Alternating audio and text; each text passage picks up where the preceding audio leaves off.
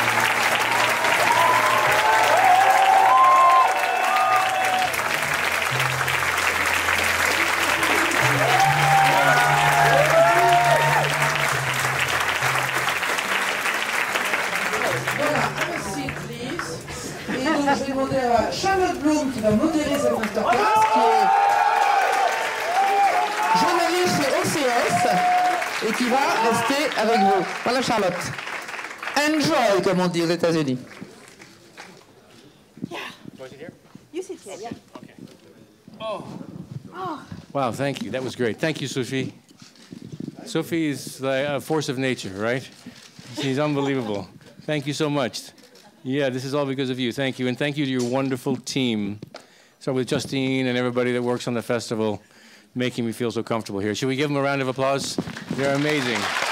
They're amazing. Thank you. Thank you. They've taken really good care of me these past couple of days. All right, my darling. so Okay, now I'm going to interview you. Tell me a Please. little bit of yes. Ok, so, euh, je vais poser les questions en français, après en anglais, après qu'elle répondra. Je vais l'appeler Kyle, genre c'est mon pote. Et ensuite, euh, je traduirai. Donc, euh, ma première question, elle est compliquée, puis après, comme ça, on est débarrassé. C'est de savoir qu'il a travaillé avec une multitude de réalisateurs très différents les uns des autres. Évidemment, David Lynch, Alfonso Cuaron, Paul Verhoeven, Steven Spielberg, Oliver Stone. Et je me suis demandé s'il n'y avait pas un point commun, malgré tout, entre tous ces réalisateurs et sa relation avec eux. Her French is amazing. Just gotta say it. Okay, so first question, the trickiest one, and then we're, we're done. Very good. Uh, it's about all the directors you've worked with, uh, from David Lynch, of course, to uh, Paul Verhoeven, with my French accent, to Oliver Stone, to Eli Roth, to Alfonso Cuaron. They are very different from each other, but maybe you find something they have in common in your relationship with them. Yes. Um, yes, I've been really lucky to work with some extraordinary directors. See that you get old enough and you stay around long enough, and this is what happens if you get lucky. Uh, I would say that um, some of the common threads among these wonderful directors, um, they have um, a shared uh, passion for the process, uh, like a joy uh, of the process of creation. Um, so my first two films were with David Lynch, and that's that, and I, I witnessed that in him, and and almost all of the directors that I've worked with since then, certainly the ones that are known, share that. Um, they also have an extraordinary ability to um, to convey their vision and their ideas um, and their desires uh, to the actors um, their specificity. Um, they have they're very very intent on on what they have to what they're trying to say, and they're able to impart that knowledge to the actors to help them on that journey. Um, so certainly those two things or three things, depending on Two how you three, it's how you parse it. Yeah, So now, hear how you sound in French. excellent. I'm very excited. Euh, donc, il explique qu'il a été euh, très très chanceux d'avoir rencontré des réalisateurs euh, extraordinaires comme ça et que bah, quand on vieillit et qu'on reste assez longtemps dans ce métier, c'est une chance qu'on a, c'est de rencontrer ces gens. S'il fallait trouver des points communs en fait entre ces réalisateurs, ce serait leur passion pour le processus de création. Euh, il a commencé donc sa carrière avec deux films avec David Lynch, Dune et Blue Velvet, et il s'est rendu compte compte qu'en fait, les autres réalisateurs avec qui il a travaillé avaient les mêmes habilités que David Lynch à communiquer à leurs acteurs leurs idées, leurs visions, leurs désirs et à les emmener dans un voyage euh, avec eux pour que euh, bah, les films euh, voient le jour. Peut-être qu'on va se mettre un petit slide avec des affiches de films pour qu'on regarde un peu à quoi ressemblait sa filmographie. Yes, so yeah, it's a patchwork of some of your movies, but there are so many more. Wow. I was going to say your French is very good. Thank you so Yes. much. very good. Oh, oh yeah. So some you might. I forgot about that one. Smell of success. Smell of success. Yeah, I don't know that. I think that came out. I just worked again with Ethan and the same director, Michael Almereyda, on um, Tesla. So we're doing a movie about Nikola Tesla, and Ethan plays Tesla, and I play Thomas Edison. So you know that's not so bad. Donc, euh, bah, il se rappelait pas du tout de ce film, euh, The Smell of Success, que je vous conseille malgré tout. Et euh, il parlait d'Ethan Hawke, qui jouait dans Hamlet avec le réalisateur Michael Almerda, avec qui il tourne actuellement, dans un film qui s'appelle Tesla, et dans lequel il incarnera Thomas Edison. Alors, quand même, bon là, j'en ai pas mis beaucoup des films, mais Kyle MacLachlan, c'est 41 films, 19 séries, plus de 35 ans de carrière, et malgré tout, il affirme que à chaque nouveau euh, rôle, il flippe. Et que, bah, comme s'il avait peur, en fait, de pas assurer, alors que, bon, je pense qu'on est tous d'accord qu'il assure. So, you've done 41 movies, No, I can't believe when you told me that today. Yeah, I I counted. believe that. 19 TV series. That's crazy. H- How does that I know. happen? Hey, you're good. I don't know. I don't know if I'm good or I'm just available. that's maybe that's it. Well, maybe that's the secret, right? Just Make yourself available. Well, that's everything you've done. It's been more than 35 years since you started Yes, in Dune, I and know. still you say you might be scared starting with a new role. you Yeah, might yeah. fear of not being good enough or something, which is crazy. How, how comes? You know, it's um, it's one of those things where you know it's a new environment. Uh, every film, every television program, you you have a family that you create, and you start off on this journey together, and you get very close very quickly. Um, because you have to, you have to work together with everybody, and, and you're going to be dealing with, you know, emotions, and you know, everyone has a different state of mind when they come to work in the morning, you know, and uh, so we're all creative people, right? So it's it's you never know kind of what you're gonna what you're gonna come up against, um, but you're trying to marshal all of this into a, a, a kind of into one focus. You know, you're trying to create this uh, this film or this television program, um, and you know, you always I always hope I'm gonna. I mean, I'm always going to do my best and bring the, my best efforts. But there's this funny thing that creeps in there. Is like, oh, geez, I wonder if I'm going to remember my lines. I wonder if I'm going to remember how to act in front of a camera for some reason. And then, of course, the, after the first take, you're fine. You know, you're like, oh yeah, I remember everything, like riding a bicycle. But yeah, I have this initial sort of uh, little trepidation, nerves. You know, the first day, um, and that. But we get over that pretty quickly. Yeah. Um, yeah. Because you know you're good. Well, I don't know if I'm good. I'm, you know, so I'm the- I'm the best they got at the time. So there you go. Alors, bah, effectivement, chaque nouveau projet, c'est un nouvel environnement. Et puis, c'est surtout une nouvelle famille qu'on se crée. Il va falloir qu'on apprenne à travailler ensemble. On va commencer un voyage ensemble. C'est des métiers très émotionnels. Donc, il va falloir gérer avec les émotions des gens. Et on ne sait jamais bah, dans quel état euh, notre copain, notre collègue, notre, un technicien va arriver le matin. Et il va falloir gérer ça. Euh, c'est un peu compliqué. Et pourtant, tous ces gens avancent ensemble avec un but très précis qui est de créer cette œuvre-là ensemble à ce moment précis. Donc il dit qu'il fait euh, du mieux qu'il peut, mais qu'il y a toujours un moment où il se dit mais est-ce que je vais me souvenir des dialogues? Est-ce que je sais encore travailler devant une caméra? Mais bon, euh, c'est une petite angoisse qui finit par s'échapper. There you go. Perfect. Can we just take a moment and comment on the shoes that she's wearing? Can we look at these shoes? I mean, these are pretty special. Audrey Horne wishes she had shoes like that. For goodness sakes. That's the that will be Audrey Horne 2.0. That's that's what those shoes. I'm right so happy to hear that, actually. Euh, je vous propose qu'on se regarde un petit extrait. Shall we watch a, a clip, maybe? Yeah, you have clips too. Yeah, wow, sure, of course. We're amazing. Sophie, you've gone out of your mo- out of your way here. This is incredible. All right, we're ready. What are we going to watch?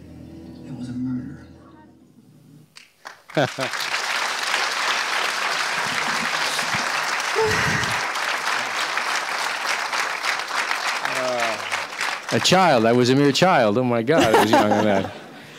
Bon, vous avez tous reconnu Blue Velvet, évidemment. Euh, cet extrait, en fait, la raison pour laquelle je l'ai choisi, c'est parce qu'on parle de mystère. Et, euh, et, quand on voit la carrière de Kyle MacLachlan, on se rend compte que bah, le mystère, ça a toujours fait partie de ses rôles. Et donc, je me suis demandé si il prenait chaque film comme un nouveau mystère dans lequel il pourrait se perdre. So the reason why uh, this clip is shown is because I was wondering if, just like Jeffrey Beaumont, you feel like when you start a new movie, it's like a new mystery you might get lost in and you have to find your way in. Is it like a mystery to you, a movie? Yeah, you know, they're like they're like giant puzzles. I love puzzles. So the character to me is um, about discovering everything I need to know um, going into this journey. So uh, it starts with the script, and that's my blueprint. And the writer will tell me pretty much everything I need to know. At least I'll get as much as I can from the script uh, to start out with, and I really parse it out. You know, and really take it apart. You know, every word is important. And then once I've done that, the machine starts machine starts to work. You know, so then I I begin to put everything together. Um, when I first started, it was pretty. I just that was what I did, and as I've gotten older, I've gotten really more intent on it. You know, so there's there's a real specificity to it. Um, so um, I do I do I do think of it. I do approach it that way. Um, and then there's a lot of uh, intuition that goes into it as you begin to, you know, dig into these people and keep you're asking yourselves what the questions why, what, how, you know, um, you just never stop answer. You never stop asking those questions. I don't think. So. so Euh, alors, effectivement, bah, prendre un nouveau rôle, c'est comme un espèce de puzzle géant. Et comme il adore les puzzles, et bah, ça tombe bien. Euh, le, personnage, c'est quelque chose dans lequel il va se plonger. Évidemment, le premier, premier lien, bah, c'est le, scénario qui va vraiment décrypter, analyser, dans lequel il va se noyer un petit peu. Euh, et puis tout doucement, la machine se met en route et puis il devient ce personnage. Et plus il vieillit, plus il a ce process qu'il applique. il explique qu'il y a quelque chose de très intuitif, en fait, quand on, on prend un nouveau rôle et que, bah, comme un personnage, on va se poser des questions. Pourquoi il fait ça? Comment il fait ça? Qui il est? Et que tout doucement, ça devient, bah, par exemple, Jeffrey Beaumont. Euh, alors, il a commencé sa carrière, comme vous le savez, avec David Lynch, euh, qui est un réalisateur à part, je pense qu'on peut le dire. Et euh, évidemment, on se demande tous à quoi ressemble leur relation de travail. Donc attention, réponse, c'est maintenant. you started your, your career with David Lynch, yes. who is someone that is very unique. Yes, I blame special. David. you blame David. David's we fault. love David. We thank him. I love David too. But uh, I think we all wonder because he's such a, a unique person. How, how do you work with? What is your relationship like? How do you work together? You know, it's very comfortable. We met uh, for the first time when I came in to meet for to play the role of Paul Atreides in the movie Dune, um, which was way back in 1983, early 83. He says it was late 82. Maybe it was late 82, or maybe it was early 83. I don't know. Um, and we just uh, had a real nice connection, very nice conversation. And he just always believed that I could do whatever he asked me to do, I guess. And uh, and I I just uh, loved his very he's very down to earth, um, very very straightforward. Um, you know, pretty much tells you what he's looking for and what he wants, and doesn't play games, and uh, um, and has a very interesting, obviously a very interesting take on the world. Um, and and I really love the worlds that he creates. You know, these environments of that was in Blue Velvet and in Twin Peaks, uh, Fire Walk. These are all, um, you know, settings that are unusual and compelling, and certainly very different than in, in real life. Certainly, you know what I mean. But also just just the, the world that I grew up up in. So it's fun to go and explore in there. It's funny, I was watching the Blue Velvet, sorry, this is getting too long, but I was watching the Blue Velvet clip and I was noticing um, that I was also imitating David a little bit in some of the, um, you know, when he's like, uh, yeah, you know, and then when he was kind of, he's, Jeffrey's holding his hand like this. That's a lot of David that um, I was either conscious of or, or, I don't even know, maybe was unconscious of at the time, but uh, certainly was sort of channeling a little bit of David Lynch on that. Ok. Alors c'est une relation confortable de travail. C'est marrant, c'est pas du tout le mot euh, qui me serait venu à l'esprit. Euh, ils se sont rencontrés euh, donc pour Dune. Alors peut-être en 83, peut-être en 82. c'est pas très clair. Ils sont pas trop d'accord sur l'année de cette rencontre.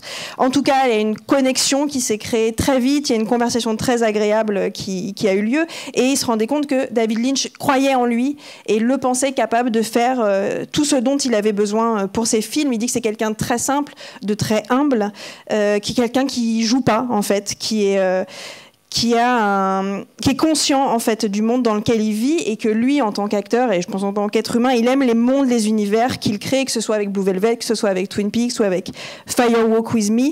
Effectivement c'est très différent du monde réel qu'il a connu euh, quand il a grandi mais c'est très intéressant. Et il disait qu'il se rendait compte en regardant ce, cet extrait de Blue Velvet que en jouant Jeffrey Beaumont bah, il imitait un petit peu David Lynch il reprenait un peu ses gimmicks la façon dont il tenait ses mains et que bon bah ça infusait un peu en lui euh, la, personnalité de David Lynch. Et puisqu'on parle de David Lynch, euh, bah, après David Lynch, il y a eu plein d'autres réalisateurs. Et euh, bah, j'imagine que quand on travaille avec David Lynch, qui est sur le lâcher prise, qui est sur la rêverie et tout, et qu'après on travaille avec Oliver Stone et, et Paul Verhoeven, bah, c'est pas le même délire, et qu'il faut réapprendre peut-être ce métier-là. Donc on va voir.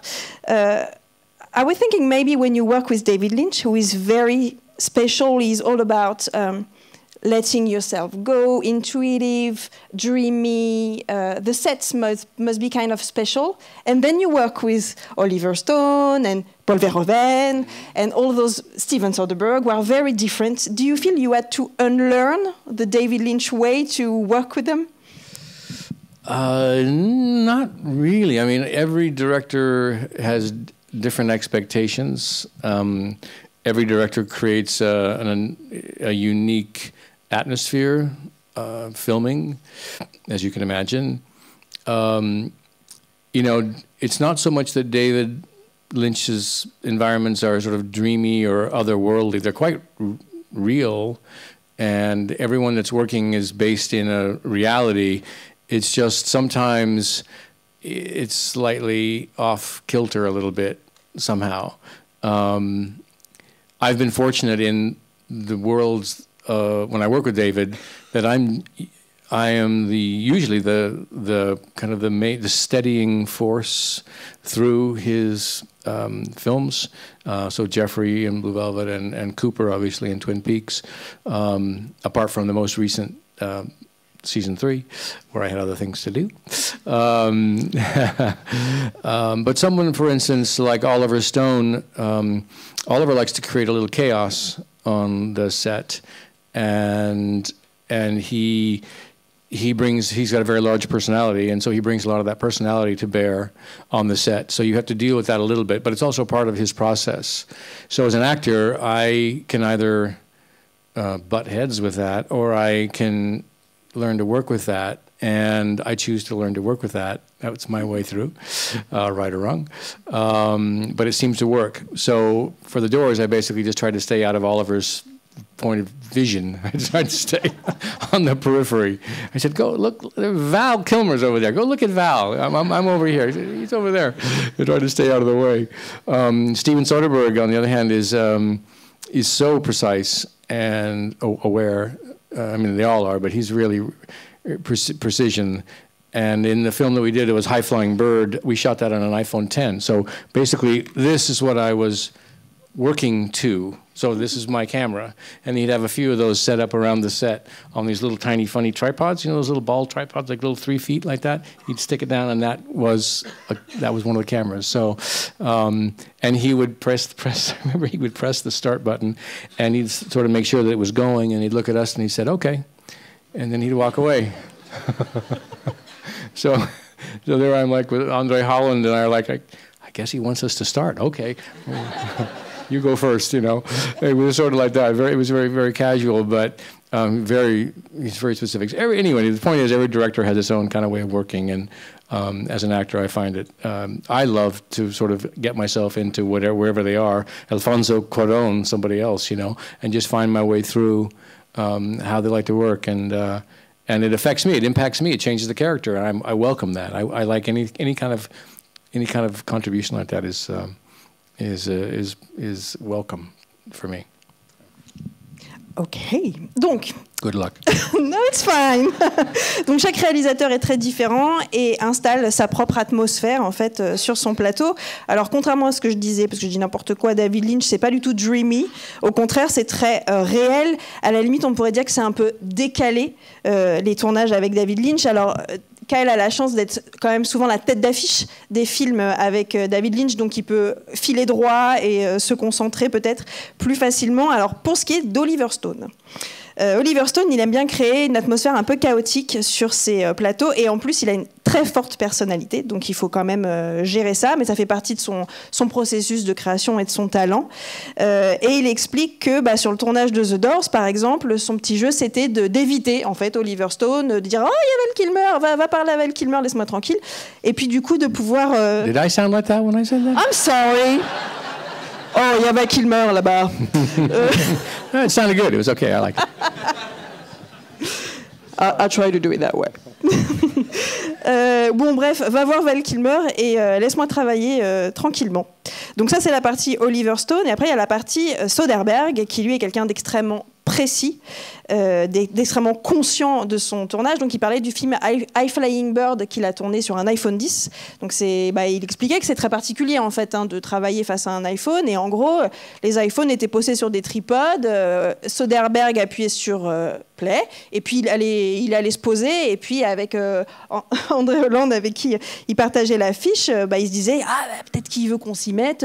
Bah, passe en premier. Moi j'ose pas trop. Enfin bon, c'était un peu un peu particulier comme façon de faire. Il parle aussi d'Alfonso Cuaron, avec qui il avait fait le pilote de Believe et qui, est, euh, qui lui aussi a ses méthodes, mais qu'en tout cas, le fait que chaque réalisateur ait son style et que chaque réalisateur ait sa façon de faire, pour lui, c'est un challenge et c'est très intéressant et c'est ce qu'il aime, euh, notamment dans ce métier.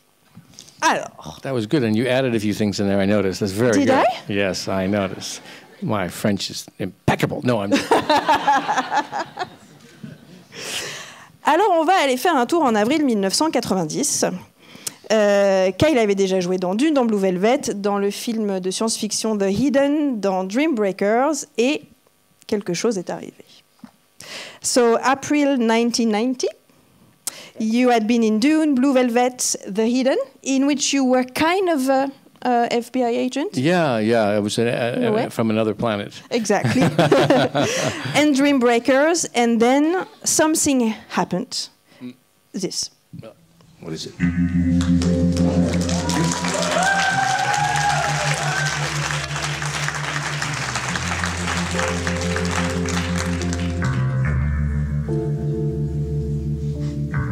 This. Donc, euh, Twin Peaks est arrivé. Is that all we got? Jeez. No, no, no, don't worry. I'm waiting for the car to drive by. It's step by step. Isn't there a car in this scene? No, I'm just kidding. Kyle s'inquiète que la, la route n'est pas très grande et que la voiture ne va jamais tenir sur ce petit bout de route.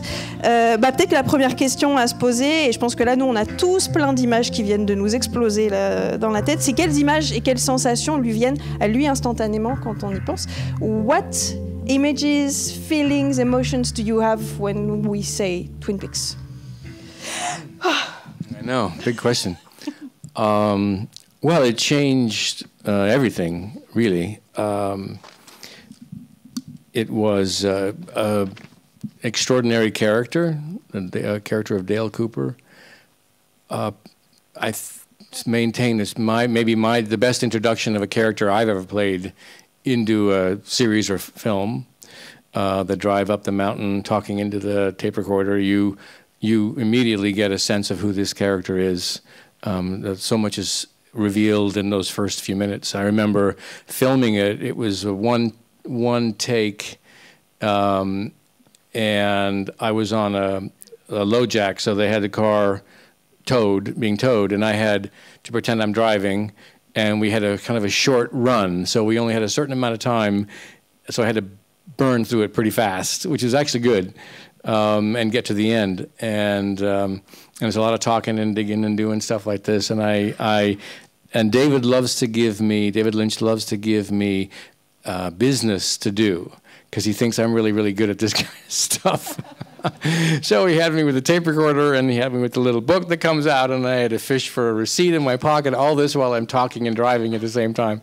Um, but he gets a big kick out of that. So, um, so I, I have, uh, I mean, it was a long time ago, so the the memories are, you know, they've faded with time a little bit, and they're they're probably got I've got rose-colored glasses around it, but I I remember being having just a wonderful wonderful time with it, and recognizing the specialness of it even then, not knowing how it would be received by the public, but just knowing that we were making something that was inter interesting and fun and and and and just and different, just really different for television. So um, I, I, remember all those, all those, you know, and there were all sorts of emotional dramas going on at the time, you know, personally and and within the cast and everything. But but really, the the overwhelming memories are are really of um, something that was really special. It still is. Yeah. Alors, euh, ce, il se rappelle très très bien du tournage de cette scène. Alors, il dit qu'évidemment, Twin Peaks a tout changé dans sa vie, dans sa carrière. Ce personnage de Dale Cooper, coupe We can say Coupe. Yes, I will say Coupe. Of course. Euh, C'était un personnage extraordinaire qui avait une des meilleures introductions qu'on ait pu avoir dans la fiction, parce que c'est vrai qu'il est dans sa voiture, il a son petit tape recorder, il parle à Diane, et en quelques secondes, on comprend euh, qui est ce personnage.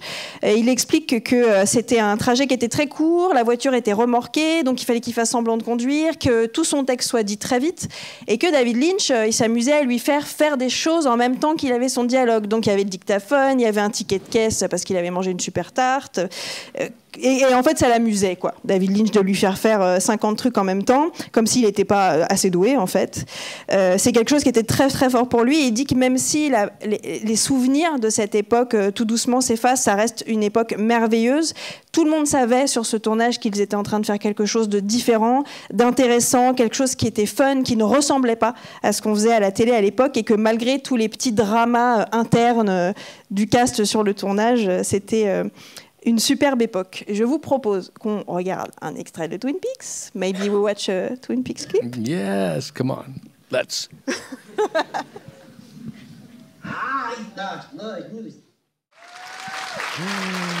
Whoa. Yeah. So Mike Anderson, who um, played Little Mike in this, um, the man from another place, uh, had this ability to speak backwards. I mean, that was um, him. You know, he obviously going played it forwards, but he was able to make it sound almost. I mean, it was uncanny how how well he did at that. Uh, I didn't have to, thank God. Uh, um, and I'm not sure about the makeup on Cooper there. I think I've done. It's been 25 years. I was like, I'm worried. That guy's been out in the sun too long. But anyway, um, um, yeah, I mean that when that episode aired um, on network television, I think people were like, "What just happened?" the world changed. I think that was when television sort of uh, turned a corner, um, and people were talking about that for a long time. Of course it did. Donc il explique que Mike Anderson, qui joue dans cette scène, était capable de vraiment parler à l'envers et de presque faire comme si c'était complètement normal et pas du tout bizarre. Mais lui est ravi de ne pas avoir eu besoin de le faire. Bon, une petite remarque sur le maquillage, on sent qu'il y a plus de 25 ans qui sont passés hein, quand même. Et euh, il rappelle quand même, c'est important que Twin Peaks était sur une chaîne publique à l'époque et que quand cet épisode est passé, après deux épisodes qui avaient l'air plus ou moins normaux, euh, tout le monde s'est dit mais qu'est-ce qui se passe? Qu'est-ce que c'est que ce truc? Et en gros, la télé a basculé. Quoi. Euh, tout a changé euh, grâce à, cette, euh, à cet extrait. Alors, il se trouve que bah, il a répondu à ma question sans que je la pose, donc c'est magique. Donc, bah, on va regarder un second extrait de Twin Peaks. You answered the questions before I asked it, ah, so that's magical. Right, really, that is magical. So, yeah, so, so we can watch. it. we watched again? Because was I speaking backwards or was I was intelligible? No, because I was okay, ask, right, I was going to ask, how do you imagine people reacted when they saw this after two mostly normal episodes. Yeah, no, that's and they people were like, like suddenly they were like, "What did I just see?" I think people like collectively just sort of were staring at the television sets, not knowing what to do. I think people said that to me. They're like, "What just happened?" so, and they couldn't go back. You know, there's no rewind. Oui, en plus, il n'y avait pas de retour rapide. Donc, euh, en plus de se dire, mais qu'est-ce que c'est que ce truc On ne pouvait pas le revoir pour être sûr qu'on avait bien vu ce qu'on avait vu. Uh, so maybe we watch another sure, Twin Peaks clip. Okay. What else have we got here? What other uh-huh. surprises do we have?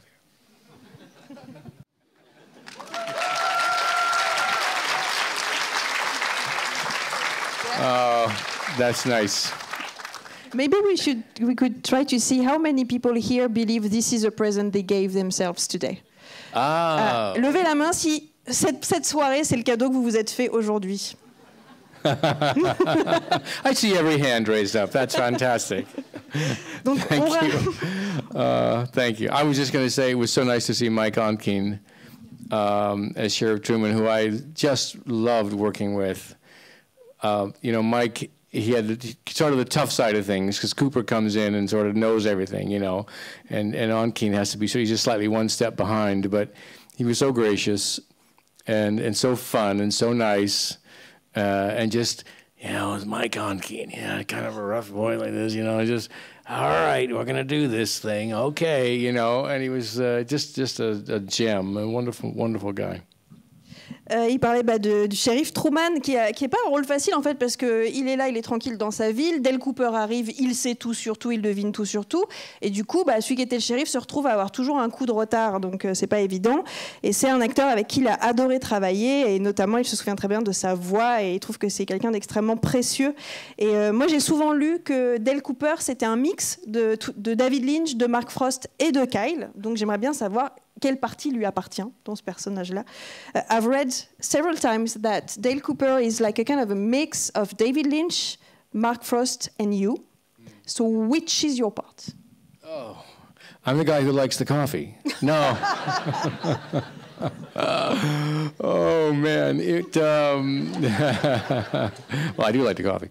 Um, you know, it's uh, he, he is he is a mix. I mean, he was a creation from both of those guys, and uh, um, and I, I, I somehow I don't really know. I just sort of breathed life into him, you know, and he made sense to me.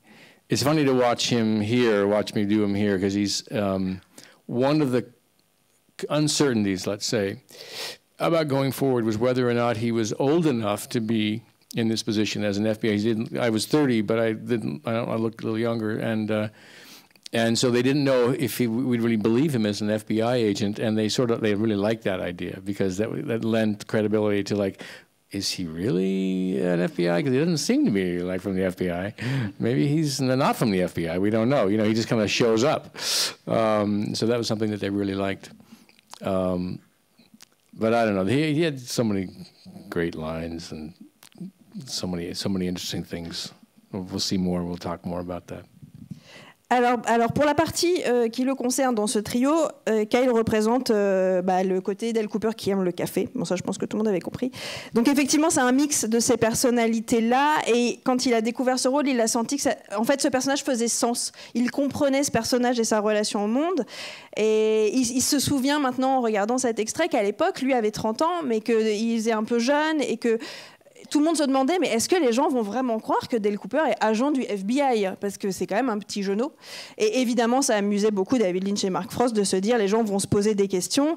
Et puis, il se rappelle effectivement de la qualité euh, des dialogues et de ce que pouvait euh, raconter Dale Cooper. Alors, bon, je pense que bon, on est tous ici ce soir parce que ça a changé notre vie, Twin Peaks. Mais est-ce que à l'époque, ils se rendaient compte sur ce plateau qu'ils allaient changer la télévision, qu'ils allaient changer la façon dont on raconte des histoires? Did you realize when you were doing this show that after that, TV would never be the same again? Telling stories would never be the same. You were really changing something, and it's been proven several times Mm, thank already. you. Yeah, I, I think. Um, well, first of all, we didn't anticipate. We, no one expected that the show would go beyond uh, the pilot. Really, we made we made this first uh, two-hour m- movie of the week. Really, um, for ABC, and had an ending, which was then um, when ABC decided um, th- th- they should buy seven of these, seven more. Okay, um, so they took the ending and they lifted it out and left it at a cliffhanger, and then they put that into a dream sequence in episode two, I think. Um, so we no one figured we'd go forward. We knew we were going to make something interesting. We knew David Lynch on television was going to be groundbreaking, um, but I don't think we anticipated that it would have the the kind of impact that it did.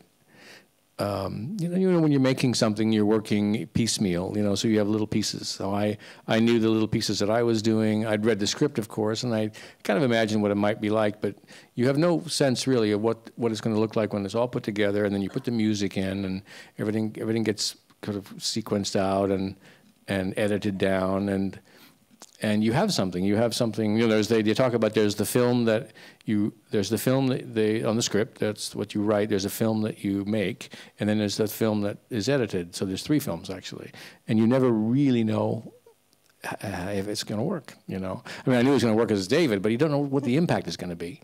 Um, so we were all surprised. And in this in this particular case, we filmed the pilot. They bought seven more. We filmed those before we ever broadcast. So we were watching stuff that had already been finished, so we weren't able to uh, overlap. In other words, so we weren't filming while the audience was watching until the second season. So we didn't know what to expect, and suddenly there's this obviously this incredible explosion, um, even in 1989 uh, where there's no social media at all. And and but we were definitely aware of it. There was you know everyone was suddenly clamoring for for Twin Peaks stuff. I mean it was insane. Um, but no, no, not going in. I don't think we had that. we had that we didn't know. Well, there you go.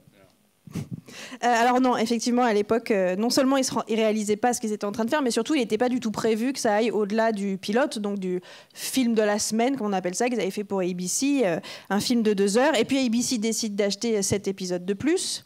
Donc, bah, en fait, la fin du film qui concluait plus ou moins l'histoire, on la coupe, on la remet ailleurs, comme ça, on peut avoir sept épisodes. Mais ce qui est intéressant, c'est qu'en fait, les sept épisodes et le pilote, tout ça a été tourné avant d'être diffusé. Ce qui fait que eux, quand ils étaient en train de le fabriquer, n'avaient aucun retour du tout du public, ne savaient pas euh, comment ça allait réagir. Et en plus, effectivement, bah, quand on est comédien, on joue ces scènes, on a le scénario complet, mais bon, on n'a aucune idée de à quoi ça va ressembler ce truc une fois que ce sera mis bout à bout. Et puis, il rappelle aussi que ce qu'on lit, c'est un des trois films ou une des trois séries que ça va devenir parce qu'il y a ce qu'il y a sur le papier, après il y a ce qu'on fabrique en plateau, et puis après il y a ce qui est monté, et puis après on rajoute la musique. Donc en fait ce truc se, se construit au fur et à mesure. Mais cela dit, euh, il se rendait bien compte à l'époque qu'une fois que la série a commencé à être diffusée, ça a explosé et que même à ce moment où il n'y avait pas les réseaux sociaux, c'était euh, quelque chose dont on parlait, c'était quelque chose dont les gens parlaient. Donc c'était déjà sorti du petit carcan euh, de l'écran télé. Alors on va revenir évidemment à Twin Peaks, mais euh, bon, on a attendu plus de 25 ans pour avoir la suite, donc je pense qu'on peut attendre 10 minutes euh, pour y revenir. Parce que j'aimerais bien revenir un petit peu au cinéma, parce que vous avez dû remarquer en regardant la filmographie de Kyle que en fait c'est un vrai caméléon et qu'on sait jamais euh, ce qui va nous pondre comme rôle et, comment on va le voir. Donc moi j'ai sélectionné un extrait d'un d'un film de 1994 que, qui m'a scotché. Je, je, ne sais pas si vous, on va voir si vous le connaissez ou pas. Uh, I was saying that we will get back to Twin Peaks, but we waited more than 25 years to see it again, so we can wait 10 minutes to go back. And you are such a. There's no way to, to know what you're going to do next. You can do everything and anything. You have a really rich and diverse career. So I'd like to talk about movies again, and I okay. Okay, and I picked a clip of a movie you might not have seen for a while, but that I, I really adored, and I think you're you're wonderful in this. So uh, uh let's watch the clip, okay, and and then we'll see what happens. See what see what we say. If I run screaming from the room, you'll know. You want me to stitch that up? Remember that? that took me. That took me a while to figure out which one it was. I said, "That's not the hidden." No, no, no, what is it? Was it Twin Peaks when I was on the floor? No, that wasn't either. Um, that was a long time ago. That was a that was a, a movie for HBO called Against the Wall that was directed by the late John Frankenheimer, um, who was amazing, uh, and uh, Clarence Williams III was in that you remember him from the Mod Squad? Anybody remember Clarence Williams? Um, and topical because Peggy Lipton, of course, just passed away recently. So um, sadly, um, but Clarence was in that. That's where I met Clarence, um, and was directed by the late by by the wonderful, amazing John Frankenheimer. Um, uh, uh, Sam Jackson was in that. Um, gosh, who else? Oh, Freddie Forrest Freddie Forrest from Apocalypse Now. Do you remember him? He was the sous chef. He was chef in Apocalypse, and uh, he had one great thing. I don't know if it's appropriate. Anybody under the age of 15 here? No, we're good. All right, I'll tell this really quick story because this is, I love this story. So we're filming in Nashville, Tennessee, and it's really hot. And we're filming in the old penitentiary there that's been closed down for not that many years. Um, so it still has the ghosts are still running around. Anyway, so we're out in the yard, and all of us as prison guards are. The, what you saw was the aftermath of a giant shooting spree. But all the prison guards have been held hostage. The inmates have taken over, and we're all being held hostage. And so we're sitting there in a circle, kind of bemoaning our faith, and I'm playing one of the, our fate, and I'm playing one of the prison guards. And so we're sitting around, we're sitting around, and one of the guys has to break down, you know, and he's like, I gotta, I gotta get out of here. So he starts, you know, acting, and I'm like, thank God it's not me.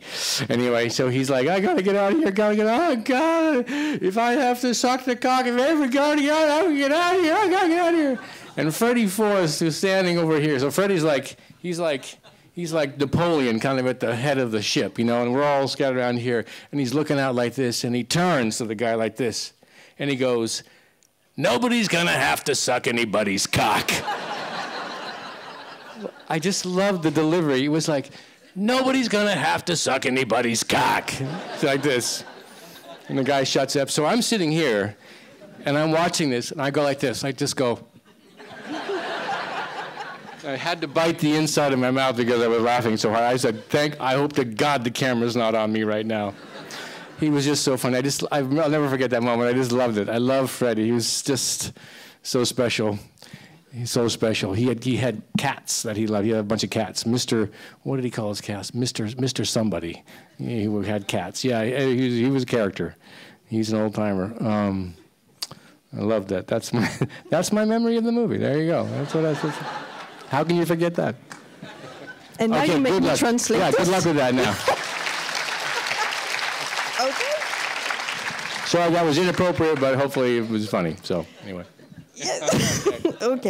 Alors c'est un film euh, HBO qui s'appelle Against the Walls et euh, pour l'anecdote c'est le film grâce auquel on a eu Oz après parce que ça avait cartonné en fait euh, sur HBO. C'est un film génial dans lequel il y avait Claire Williams III, dans lequel il y avait Samuel L. Jackson et Freddie Forrest qui était dans Apocalypse Now. Donc après c'est assuré que personne n'a moins de 15 ans dans cette salle. Bon anecdote. On y va. You don't have to tell a story. That's okay. I want to. You want to tell a story. Yes. Okay, here we go. It's my challenge today. Okay. Donc, il filmait à Nashville. En fait, ce film raconte euh, l'émeute dans la prison d'Attica. Donc, euh, la scène qu'on vient de voir, tous les prisonniers ont pris possession de la prison et les gardiens deviennent les prisonniers. Euh, ils sont tous assis en rond, il fait super chaud et il faut bien qu'il y ait un des acteurs qui incarne le gardien qui va péter un câble, craquer et avoir envie de partir. Donc, bon, alors, je vais pas refaire l'imitation. On est d'accord De oh, faut qu'on s'en aille. Yeah, I can't do that. Anyway, et donc, ce, ce, gardien qui craque dit Thank you so much. dit euh, Si je dois sucer euh, tous les prisonniers de cette prison, alors, donc là j'ai évité le gros mot. Euh, tous les prisonniers de cette prison, I managed to say it without cock. Ah, very good. Eh ben, je le ferai. Et donc là, euh, nous avons notre ami Freddy Forrest qui se lève et qui joue effectivement un peu le, le gardien, un peu euh, bad guy, le, le, patron des gardiens, et qui lui dit personne ne devra sucer personne dans cette prison. Et là, on a Kyle qui est assis par terre et qui a honte en fait, qui est comme ça. This is you. That's very good. Voilà. That's a good me.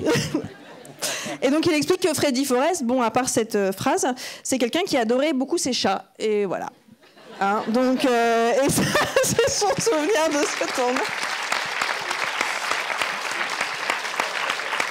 Thank you. I'm here to help. I'm just here to help make your job easier. I want to make her job easy and just Okay. delightful. Ok, alors on va essayer de faire un truc un peu plus léger. Bougez pas, euh, on va se mettre un- une petite slide de photos que vous allez reconnaître assez vite. Let's watch some uh, photographs. Okay, photographs. Yes. Oh boy. Parce que Kyle, il a une grande carrière à la télévision. Euh, il n'a pas attendu que ce soit la mode pour être un acteur de cinéma qui fait des séries. Donc, euh, bon, je vais les citer dans trois secondes dans la version anglaise de la question, mais la question qu'on se pose quand même, c'est pour un acteur, est-ce qu'on on appréhende différemment un rôle euh, en série qu'un rôle au cinéma? So you didn't wait for it to be cool and, and uh, hype to go to be a movie actor and to go on television. You've always done that. Yeah, I so guess, we can yeah. see Sex and the City is a good wife. Yeah. Uh, we can see Portlandia, of course. Uh, How I Yeah. Met Your Mother. Uh, Twin Peaks, of course. Yeah. And so the question is, do you feel it's different as an actor when you have to get into the skin of a, a, a character you're going to be for one movie or you're going to be for many episodes? Is it different for you? Um, you know, most of these, well, apart from um, Sex in the City and Desperate Housewives, I guess, um, which started out to be just, I was only hired for just a couple of shows and then it went on, on and on. Um, but like for The Good Wife, with working with Carrie Preston there, that was, um, I knew it was just going to be a couple episodes, um, although they did like the dynamic between the two of us. And then, of course, is the captain with my red pants uh, with Josh. Um, you know, it's it's you know many actors talk about why they enjoy uh, working in television because of the time you get to spend with a character and the journey that you get to go on with that character. And if the character is interesting and the writers are good, it's it's wonderful. You really do. Um, really get deep inside these guys and you and you're able to spend time with them you know um, working on a film it's the same thing i mean you immerse yourself in the character and you are this this character is for just a very specific amount of time um, and that can be uh, you know i mean i i love the, most of the characters that i've done i love not all but um, so and i like i like being able to be with them for long periods of time. So i really i cherish um, the television format where you can really really hang with them um, and and get to work through some stuff with them. Um, so it's I, you know i guess they're, they're both good but I, I like guess i prefer the television model. Yeah Donc, euh, alors, il y, a, deux cas, quoi. On va dire, il y a Desperate Housewives and Sex et Sex and the City où il était euh, embauché pour quelques épisodes et puis bah, ils n'ont pas voulu le laisser partir.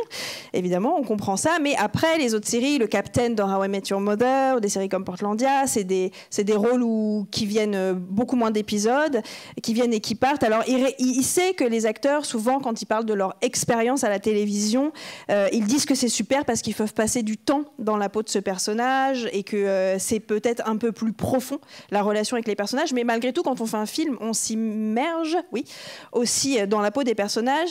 Cela dit, alors.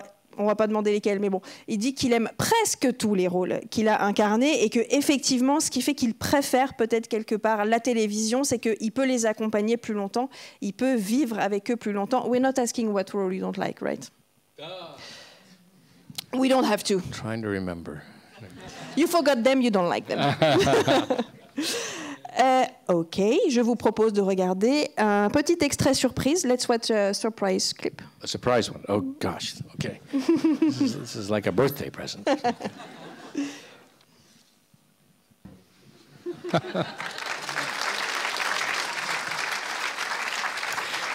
Did, did you like the little maggots falling out of the ear? That was good, right? Yeah. Donc il avait des, des vieux verres pourris qui tombaient de ses oreilles. Euh, ça, c'est un extrait d'un film qui s'appelle The House with Clocks on Its Walls, qui est réalisé par Eli Ross. Et en fait, il paraît qu'Eli Ross l'a embauché pour ce rôle après l'avoir vu faire Mr. C dans Twin Peaks The Return. Donc vrai ou faux, attention. Euh, I've read that Eli Roth hired you for this role because he saw you doing Mr. C in Twin Peaks and Oh. he thought, hey, what a good villain. Oh, good. Oh, Is that's it- nice. Yeah. Yeah, um, Eli uh, Roth directed this um, for, based on a, a children's book, um, The House with a Clock in Its Walls, and it was uh, re- really fun. You know, uh, the even the makeup. I mean, I was four hours in makeup every morning uh, before getting to work, uh, which was challenging, but. Um, you know, it, uh, it's such a it's such a it's such a challenge, really, and a pleasure to be able to try to um, even create the reality of somebody who's been dead for a while. I, I, I do enjoy that. Donc, euh, Ah ouais, alors donc c'était un personnage vraiment euh, très très fun. En fait, c'est une adaptation d'un bouquin pour enfants, mais vraiment regardez-le, ce film est génial. Euh, alors, qui nécessitait 4 heures de maquillage tous les matins avant d'aller au travail? Ça, c'était horrible. C'était un grand challenge, mais c'était aussi un, grand plaisir d'essayer de créer ce personnage en sachant qu'il est mort depuis des centaines d'années et d'essayer de lui créer euh, une ambiance de, bah, de réalité quelque part. Mais c'est un, un tournage qu'il a beaucoup aimé. Du coup, puisqu'apparemment il a été embauché parce qu'il a fait Mr. C, on va regarder Mr. C. Let's watch Mr. C. Oh, oh my God, okay. Oh boy. He's really scary.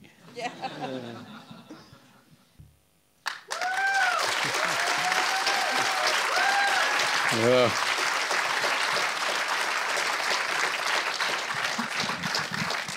He's a little spooky. That's nightmares right there. He's, he's a little scary. We thought you were nice. Uh, I am nice. Come on, come on.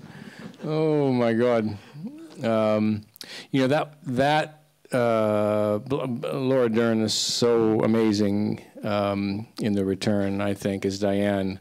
I remember when David told me that she was going to be cast. I said, "Ah, that's perfect." I said, "That's perfect. Yeah, she's going to be great." Um, and she wanted that. Uh, I, I hadn't seen her for a, I hadn't seen her for a while. It hadn't been that long, but I hadn't seen her for a while. And she wanted to not have not see me at all before. Laura's a little bit of method that way. It's okay. It's very cute. I love it. Anyway, she didn't want to see me in the makeup trailer beforehand or before we were shot. So she got in position, and then and I was in on another part of the soundstage, and so I came in, and the reveal of that scene is uh, a kind of a, a curtain goes up or a or a I don't know, like a yeah, I guess like a curtain goes up or something, um, and I'm sitting in the chair chained up, and that's that's her first. And we did her side first, you know. That's the first time she sees me. So her reaction, she wanted all of her reactions to be real and and and impactful like that, you know. Um, but I tell you, it was really hard. Uh, the, the the hardest part of playing that character was when I was working with Laura or was working with David, because I love them so much that I had to not love them at all, you know. And when you work with someone, and um, and it was really difficult to just shut everything down and and not be, um, you know, available in the in the in the kind of actor communication that I like to have, you know, back and forth. Um, he was um, he's not a giver, let's say, Mr. C. he takes, as you know, um, and as a, it was a, it was an uncomfortable place um, for me to be, but absolutely necessary for the role. Euh, alors bah oui, Laura Dern est extraordinaire dans, dans Twin Peaks The Return, que nous on appelle Twin Peaks saison 3. Euh, et donc il explique que quand David Lynch lui a dit bah, c'est Laura Dern qui va faire Diane, qu'on n'avait toujours pas vu, hein, bien sûr, il s'est dit mais c'est parfait, c'est exactement la personne qu'il faut. Alors il explique qu'avec Laura, Laura Dern, il s'était pas vu depuis très longtemps et qu'elle a, bon, a ses méthodes de travail, ses méthodes d'acting et qu'elle lui avait dit je ne veux pas te voir, je ne veux pas te voir au maquillage, je ne veux pas te voir avant le tournage. Ce qui fait une scène géniale parce qu'en fait au moment où le rideau de fer se lève juste avant ce dialogue, c'était la première fois réellement que Laura Dern revoyait le gentil Kyle MacLachlan en Mr. C. Et donc la réaction qu'on voit euh, là, c'est sa vraie réaction. Et il explique aussi que ce qui est très compliqué, bon, bah voilà, c'est un personnage euh, cauchemar- cauchemardesque en fait, Mr. C, et que pour l'incarner, quand il était dans des scènes avec Laura Dern ou avec David Lynch, il a fallu qu'il se ferme en fait. Il a fallu qu'il oublie l'amour qu'il avait pour eux, qu'il oublie qu'il était content de les voir et qu'il devienne ce personnage difficile pour pas en sortir et que c'est quelque chose qu'il n'avait pas trop trop envie de faire avec ces gens qu'il aimait beaucoup. Euh, ça m'amène à ma dernière question, euh, qui évidemment va être sur Twin Peaks, pour savoir si, euh, bah, 25 ans après, je pense que Twin Peaks a à nouveau transformé la télévision pour toujours. Mais cette fois-ci, il y a les réseaux sociaux et tout ça, donc est-ce qu'il en a conscience? So, um, my last question, of course, is about Twin Peaks. And uh, now you have social network, and now you have all of this. And Twin Peaks came back and broke everything again, made a revolution again. Now you're aware of that. There's no way you're not. Yeah. So how do you feel? Um, it feels really good because there's, um, you know, there's a community. There's a there's a community of people who really love Twin Peaks, um, and they're very very passionate, and and they're very alive and aware and and on social media, um, continuing to. Um, talk about and and and and experience the show, um, which is really fantastic. And I I just say that. Uh, once again, the impact that David Lynch has had on people's lives uh, is profound and uh, profound. They sound like I'm Kiswakan now talking. I don't know. What's going on? Uh, I'm sorry. Uh, he's, he's coming up later in our show, uh, the real one. Um, and I feel like that David, David inspires people by his creativity and his process to, uh, for people for people who have any, any, sort of artistic sense or even not on an artistic sense, but he inspires them to to create and to engage and to um, really um, uh, embrace uh, this this world, you know, and as well as their own creativity. I I post on social media a lot about fan fan creations, you know, drawings and other things that people have done that have been inspired by Twin Peaks. And there's so much creativity. Oh my gosh. Um, and people do these drawings and things, and then I like to share them on the site because um, because it's simply it's been inspired by Twin Peaks, but really by David, you know, and I think um, he he is that. He inspires me uh, certainly, uh, and all the actors who work with him, and all his crew and everybody as well.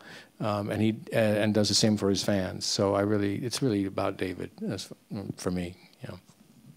Alors bah oui, ce sentiment en fait de vivre un peu en direct quoi. L'existence de cette série, c'était formidable parce que ça lui a fait réaliser qu'il y a cette communauté de fans de Twin Peaks qui existait et qui existe toujours, qui est très passionnée, qui est vivante, qui est active sur les réseaux sociaux, que la communauté continue à théoriser, à parler, presque à, continuer euh, la série euh, sur les réseaux sociaux et que euh, l'impact de la série est très forte sur les gens, mais l'impact de David Lynch évidemment est très forte sur les gens et sur lui puisqu'on a eu un petit glissement où il s'est remis à parler David, quand même, on a vu.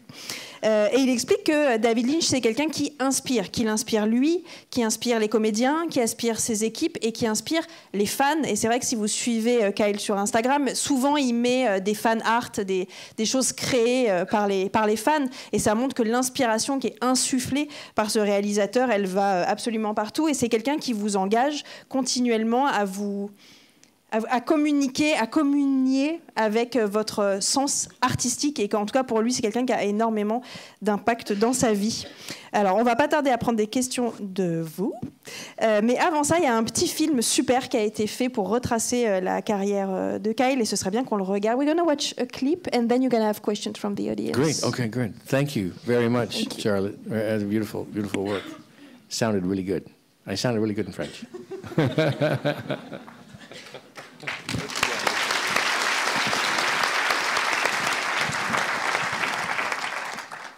Damn good coffee. Hot.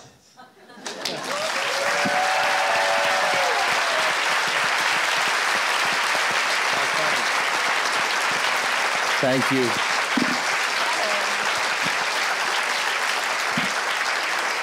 Funny to see everything. Levez la main, les amis. That was crazy. Okay. Do you have three hours?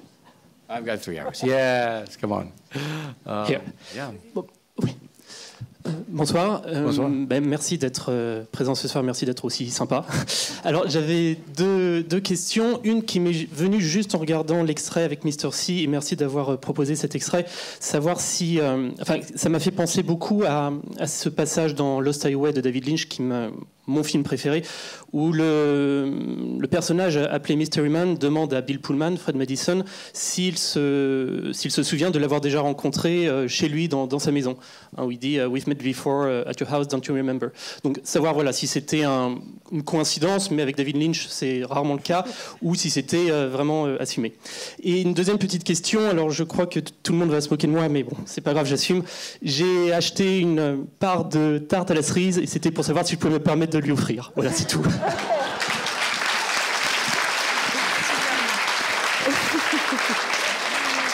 Ok, mais peut-être qu'on commence par la deuxième. Uh, so I start with question two, which is uh, he brought you a cherry pie, and like he'd like to know if he can offer it to you. Of course.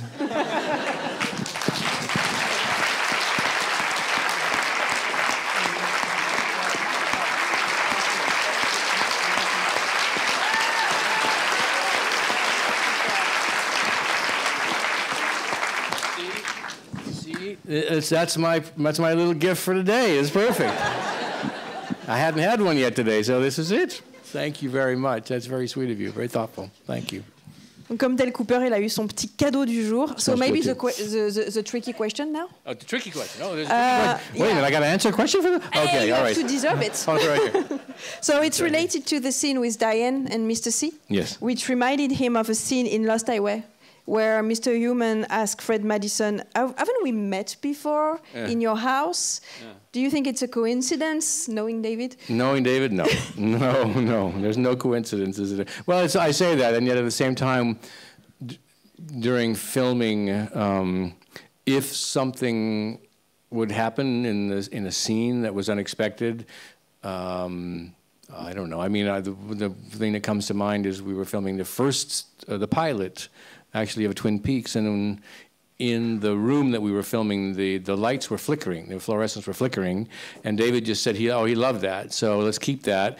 And he had the one of the actors just make a comment about how the lights weren't working that day, and he's sort of flicking the switch, you know, which then may have inspired him to have the log lady do the clicking of the lights and the other. I mean, everything.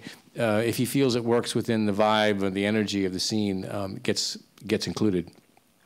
Um, but the, uh, I think there are common uh, themes, imagery um, that carry through David's work um, that you can recognize from from film to film to television, um, and uh, he does reuse uh, or not reuse, but they, they're there for a reason, I guess. Alors bon, bah non, avec David Lynch, hein, on est d'accord qu'il n'y a jamais vraiment de coïncidence. Et il explique que euh, David Lynch euh, utilise des fois des choses complètement euh, inattendues qui se passent sur un, plateau pour l'insérer à la série ou au film. Alors là, il parlait de la scène dans le pilote où bah, Del Cooper arrive, il va falloir aller voir le corps de, Laura, et puis la lumière clignote, ne fonctionne pas. C'est quelque chose qui n'était pas prévu. David Lynch trouve ça génial et il dit à un acteur, bon bah toi, tu iras vérifier euh, dans la scène euh, si l'interrupteur fonctionne, et puis comme ça, ça justifiera en fait euh, que la lumière ne fonctionne pas et on va le garder. Et c'est peut-être aussi ce qui l'a inspiré à voir la femme à la bûche qui s'amuse aussi avec l'interrupteur quand il y a la grande euh, réunion à la mairie. Et euh, il explique qu'effectivement, quand on regarde la carrière de David Lynch, il y a des choses qui se dessinent, il y a une imagerie commune, il y a des idées communes, euh, et que effectivement rien n'est là par hasard. Thank you. Hi, Kyle. Hey. Uh, I don't speak French, by the way. Uh, what's your approach? You know, you go home, you study the script, you learn the beats, and then you go to set, you get adjustment. How do you keep the lines fresh, like especially in comedy? You know, like by the 20th take, it's not as funny as the first one, you know? Well, uh, it's a good question. It's um, you know everyone has a different a different process, and um, so many things are racing through my brain. I got to say. Um, so I so my my my approach is that you uh, I, I work and get the lines down um, dead cold. Um, so they're all pretty much word perfect before I go in. And and I you know work through scenes and have ideas and have some maybe some suggestions or questions for the director that I go through. Just a few. You don't want to overburden him, you know, or her, and just ask the questions. And then um, a lot of times I will um, I rely on the other actor. So uh, if they say a line that's uh, to me and they do it slightly differently, or I'll, I'll respond in a different way. Or if I even just catch the whiff of a different rhythm or idea, I'll try it. I've, as I've gotten as I've gotten older and I've done done this a lot, and I have gotten more confident, and I just really don't care anymore. I just try stuff. Uh, you know, um, not crazy, you know, improv stuff, but I'll just, I'll just try a different uh, way in. You know, um, I remember um, um, working with um, Ken McMillan, who played the Baron in Dune, um, who's passed, he's passed on, but I had an acting class with him, and I'll never forget. He would talk about when he would come on stage because he did a lot of stage work. When he would come on stage, just be- before he made his entrance, he would be, you know, maybe engaged with one of the guys working the, the flies or something like that. Just he's just talking or, or talking to the stage manager or somebody, just just shooting the shit. He'd say, "Yeah, yeah, yeah, all right, all right, hang on, hang on, be right back." And he'd walk on stage that right in, and he would carry whatever he had been dealing with this guy right on stage with him. That energy, that attitude was real. He wasn't trying to sit quietly and get himself psyched up into a place, which basically kind of just stymies you. You know, he he kept it alive. So I guess what I'm trying to say is he kept his he kept the, his reality alive. Now, maybe it wasn't the reality of the character in that moment, but it was reality for him in that moment. And I think he trusted the fact that he knew what he was doing as the actor, as the character, that it would channel properly. But he kept this he kept this alive, this breath alive, this energy alive, and just brought it right on stage. So when he came on, it was like people were like, "What? Wow!" He's already living and breathing in that in that moment. And so I always sort of think about that when I'm when I'm doing something, you know, again and again and again. And hopefully, uh, you don't have a director that's going to beat you to death. Um, you know that you can get the takes out you know, fairly three, three to four takes. You know, you should be able to deliver it. You know, any more than that is starting to get tired. Uh, but as you keep it alive with this, just whatever whatever is happening right in that moment, right in that moment, you know. Uh, I do that a lot when I'm working. Just you know, I'll be kind of fiddling with something, or I'll start something, or I'll, you know, he'll say action, and I'll just, you know, I'll take a minute, and then I'll start, or he'll say action, and I'll jump into something immediately. Just any slight variation that you can bring um, will give you a different color, a different sense, a different way in. Euh, alors la question c'était euh, comment. No, it's fine. I'm going on and on. No, no, it's fine. We're here for that. Euh, la question c'était euh, comment il fait bah, pour que le, les scripts, il prend son script, il rentre chez lui, mais comment il fait pour qu'au bout de 20 prises ou X prises, il se fatigue pas en fait avec sa ligne de dialogue de, de keep it fresh, hein, de garder ça frais. Allez, on y va. Donc il explique que tout le monde a un processus différent et que en vieillissant et en prenant confiance, euh, il ose davantage. Il teste plus de choses. Euh, il fait des propositions, des suggestions au réalisateur, pas trop parce qu'il veut pas ensevelir le réalisateur sous les idées, il veut pas euh, l'étouffer, mais en tout cas, il, ose proposer des choses. Et quand il joue dans une scène, il s'inspire aussi de la personne avec qui il joue si l'acteur donne sa ligne de dialogue d'une certaine manière, qui est différente de la, prise précédente, il va s'adapter il va suivre cet exemple-là et lui-même, son rythme et son ton vont changer. Donc en fait, c'est euh, un échange. Euh, il parle de Ken McKillen qu'il a rencontré sur Dune, avec qui il avait pris une euh, acting class. Oui, un cours d'acting, quoi. Scene study, yeah, it was like a scene class. Yeah, acting class, bon, très bien.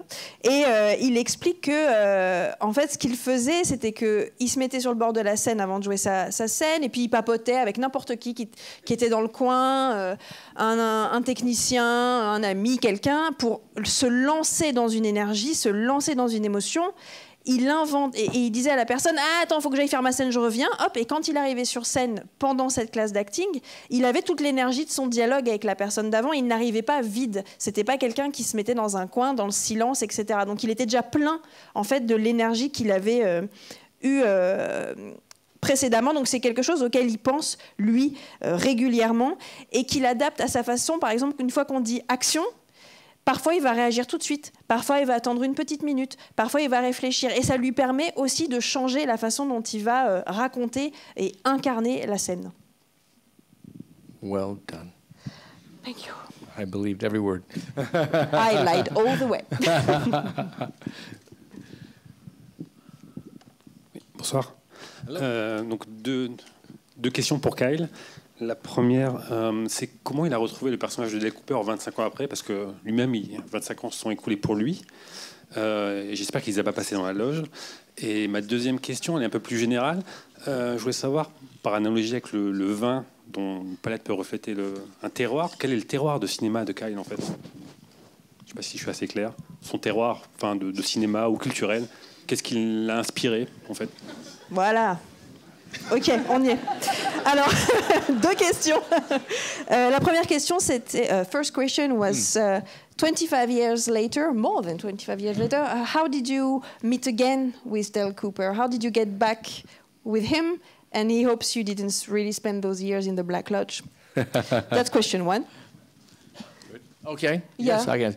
Um, I was nervous, actually, um, to go back to be Cooper, um, partly because um, there were about 16 episodes, 16 hours of non-Cooper, you know, so I was like, oh boy. Dougie, I really know. Mr. C, I really know, but uh, how am I going to get, I I hope Cooper comes back, you know, geez. Um, so I, um, I, I accepted the fact that that it was that it was going to be different. I said, you know, I'm different. You know, I'm older now, and, and I'm a different person, and and I'm going to imagine that uh, Cooper as well. He's he's had these this time, and he's you know aged, you know, and um, who, who knows what his experiences have been, but um, he's going to be changed. So so I just accepted that and went in, and really just. Um, just followed the script really in a way. You know, I was thinking going back to what you were talking about before with, with dialogue. I just went with the blueprint of what I had and and um, I just thought of I'm just said I said I'm Dale Cooper, you know, and that was kind of like it. And I just I finished the first take and I and I was like I turned to David and I said, Is that is that right? And he's like, It was aces, he said. I said, okay, I guess we found him. I guess he's back. So in, in a way, he never really left, I guess. Euh, donc il était nerveux en fait de retrouver ce personnage, d'autant que en fait euh, dans Twin Peaks The Return, on a 16 épisodes avant que Dale Cooper euh, clairement revienne. Il a surtout passé du temps avec Doogie en fait avant ça. Donc bah, il a fallu en fait découvrir un nouveau personnage. Et puis quand il est redevenu Dale Cooper, c'était Dale Cooper qui avait vieilli et il a fallu accepter que ça allait plus être le même Dale Cooper.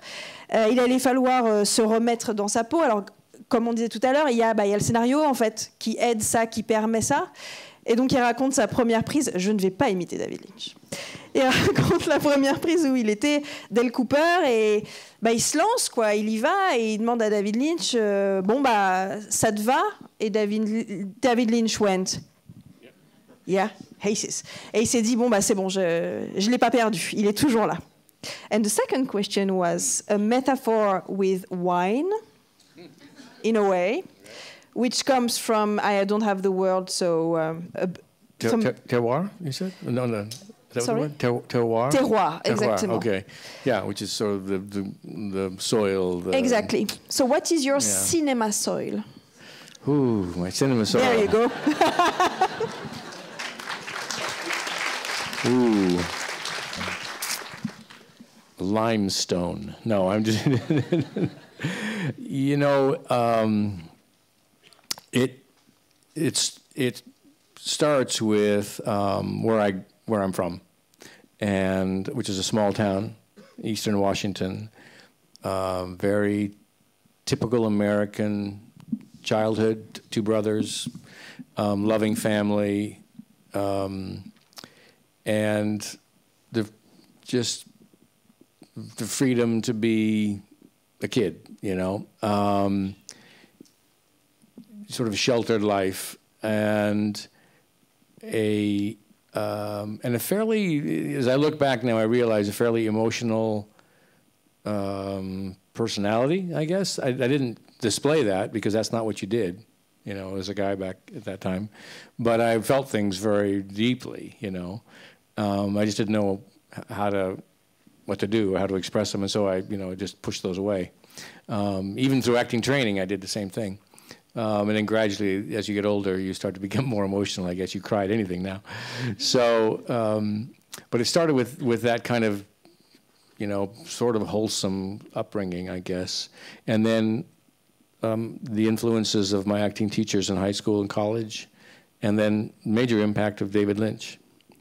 Um, and it was the combination of his his unusual worlds and my kind of grounded in reality uh, journey or person, I guess, from my upbringing, I guess. Uh, that sort of worked, you know, and that's how David and I found each other, and and I go I go back to I go back to finding the, the reality. I guess I'm accepting the reality of where I'm from, so I work on the reality of my characters very very intensely. I want to I want to know them, you know, and then uh, I want to honor them really as best I Alors, euh. Yeah. Donc tout ça commence quand il était petit. Il vient d'une petite ville euh, à Washington, Yakima? Ya, la petite ville de Yakima. Deux frères, une famille aimante, euh, l'Amérique typique et euh, bah, la liberté d'être un, gamin. Et il se rendait compte que dans, cette famille euh, où il avait le droit de grandir et d'être lui-même et d'être à l'écoute de lui-même, c'était un gamin très très émotif, qui était très à l'écoute de ses émotions, mais qui pourtant ne les exprimait pas forcément, qui les repoussait euh, un petit peu. Et, euh, c'est plutôt euh, ses profs de théâtre et d'acting qui lui ont permis en fait de travailler ses émotions. Et évidemment, il y a eu l'impact de David Lynch, qui est, alors bah, tout à l'heure on disait pas si dreamy que ça, mais en tout cas qui est quelqu'un de, différent, qui a créé son monde, qui est un peu hors norme. Et en fait, le fait de le rencontrer, il a l'impression qu'ils se sont trouvés un petit peu tous les deux et que ça, l'a, ça lui a fait un déclic, quoi, que ça l'a libéré et ça, l'a aussi encouragé à toujours chercher la vérité des personnages qu'il incarne. Euh, il se demande toujours comment il va pouvoir leur faire honneur à ces personnages-là en les rendant vrais. Donc en étant toujours euh, attaché à ses propres émotions et en les, en les écoutant. Quoi. Alors, je voudrais juste savoir si on a le temps pour une question de plus, parce que je ne me rends pas compte de l'horaire. Dernière. Hello, Mister. Uh, my friend and I uh, love so much your work. And uh, now I will ask my question in French. Uh, vous avez travaillé avec Luca Guadagnino pour le film uh, The, Sta- Star, The Staggering Girl. Est-ce que vous pouviez nous parler de votre expérience sur le tournage uh, de Staggering Girl? Et uh, my friend and I have also a gift for you. Thank yes. Uh, Please. can I? um, you. Yes. of course.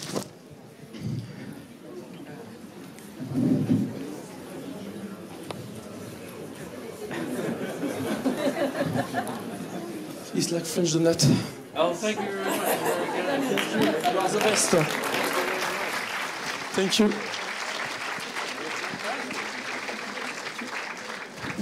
I'm going to get very fat here in Paris. Yes. Thanks, you guys. That's very, very kind. You smell fantastic. We're going to have a feast. Please. Wow. Thank you. Wow. This is, un cadeau, ça se mérite. Il y avait une question. There was a question with the gift, right? darn it. I thought you'd forget. All right. Yes, please. Yes. So you just worked with uh, Luca Guadagnino for the Staggering Girl. Yes, yes. uh, in yeah. which you play like many men, many different men. Yeah, So can yeah. you talk a bit about the shooting of the? It's a short, right? Yeah, it's, I think it's yeah, yeah. It was a short we filmed in Rome, um, almost not quite a year, well, six nine months ago, um, September, um, with Julianne Moore um, and Marthe Keller, and um, we had a we had just a lovely time. Luca is amazing. First of all, he's uh, I, uh, he's he's so Italian, you know, Luca. He's like. My darling, you're perfect, just like that. No, not like that, not like that. No, just like he's. He, I love him. He's he's a character, and um, he's great sensitivity. Um, and we we filmed in a in a little. Um, it was like a monastery, I guess, uh, um, just next to the forum, and it was a beautiful setting. And so you, I get up in the morning and I'd have my coffee and you know my my little Italian pastry, and I go to work, you know, in, in Rome. Not so bad. Um, it was a um, just an unusual kind of visual meditation, really, um, and so a lot of it was sort of feeling our way through this story, um, and there were just snippets of of of scenes. Really, uh, Julianne Moore, who I worked with, was delightful. She's got a great sense of humor.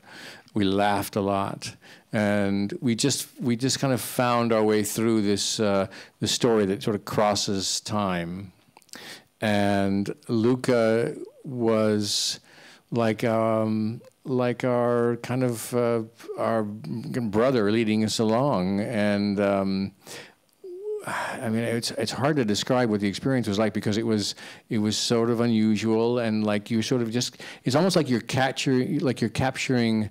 Um, pieces of a longer story. And you're only getting a scene here and then you're getting a scene further down and a scene here. Or like or like just just like uh, photographs that are from various um, periods of time that that you you're trying to figure out a way to make make sense of see how they sort of string together um, and visually stunning. Um, and he had me play different these different men that, that are in um, in Julianne's life, and some are just like fragments, just a moment, just an image, and some actually have more to do. And he um, was uh, just, just lovely to work with. He paid me a very nice compliment. Um, something to the effect of like I am the definition of the eternal the, male. The, yeah, the masculine eternal male. That's what I was. I, I can't even remember it. It was very embarrassing, but it was very nice of him.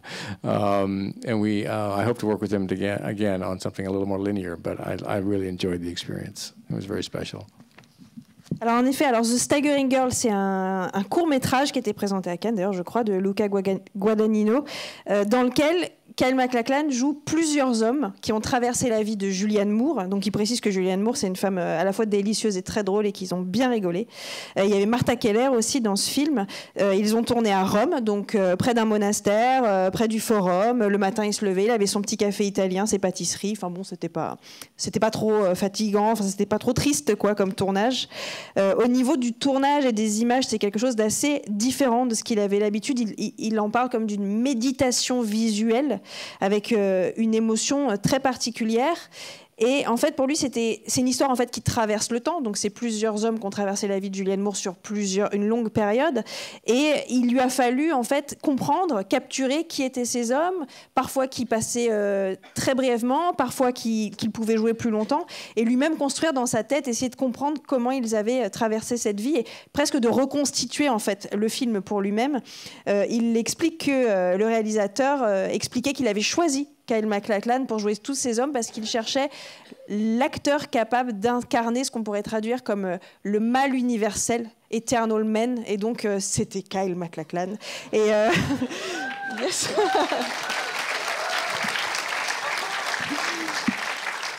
il espère retravailler avec lui sur un projet peut-être un peu plus linéaire et un petit peu plus simple. Et puis, ben voilà.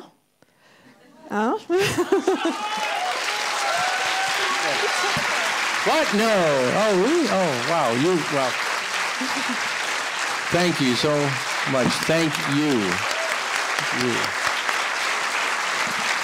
Thank you for being here, everybody. Thanks for your questions.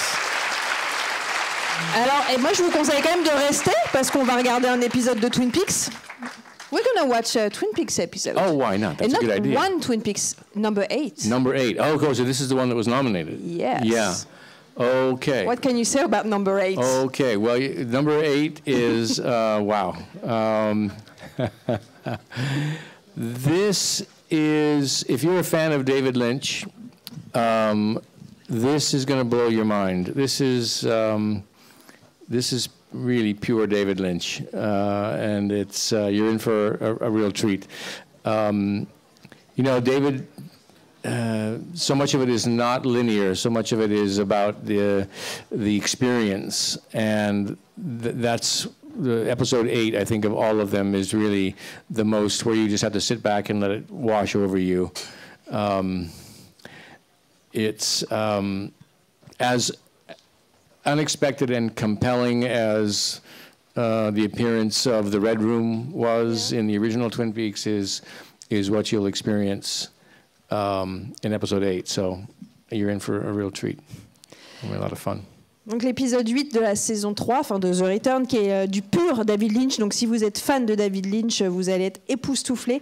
Euh, c'est pas une, une, histoire linéaire, c'est plus un épisode expérimental, ou en tout cas qui se base sur l'expérience. Et il compare cet épisode-là et sa place dans la saison 3, euh, comme euh, l'apparition de, de, la Chambre Rouge dans la saison 1, quelque chose qui voilà, je fais comme ça. Euh, Attendez-vous à quelque chose de complètement fou. Et c'est un épisode qu'il faut laisser infuser en soi. Ça va être fou. Il est, il est fou cet épisode. Thank you so much. Thank you. I loved it. Thank you, everybody. Thank you.